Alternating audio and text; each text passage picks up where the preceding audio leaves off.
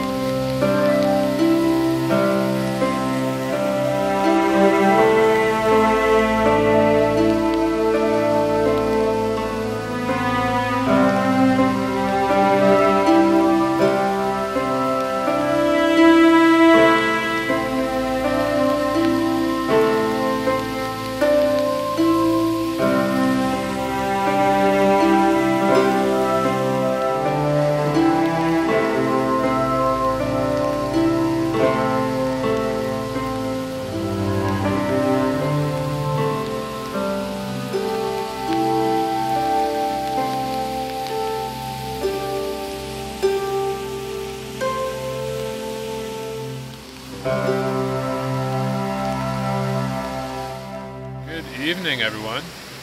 We are on this beautiful river in Japan, and we are three or four hours into our fly fishing extravaganza. Anna is adding, tying on a new fly.